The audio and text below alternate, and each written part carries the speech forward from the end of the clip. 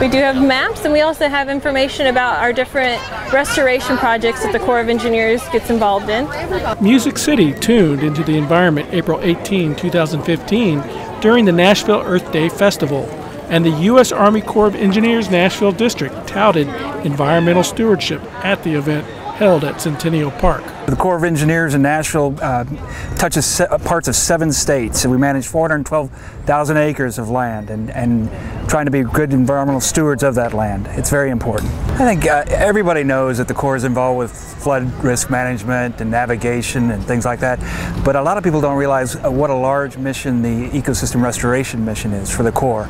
Um, we also have uh, sustainable designs uh, that we implement.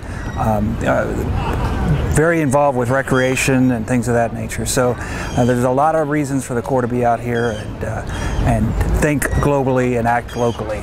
The Corps' employees interacted with the public and educated visitors to their exhibit about clean power, sustainability, restoration, water quality, and water management. Park rangers from local Corps lakes also use the event to pass out goodies and to talk with families and children about water safety this recreation season. Make sure you guys stay safe this oh, summer, okay, when you're near the water?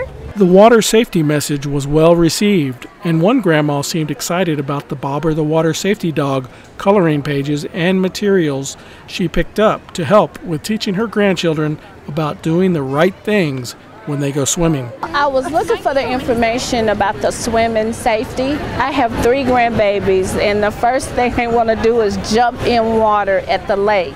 So it was real informative to get the color pages to explain to them why they can't and why they need to wear life jackets.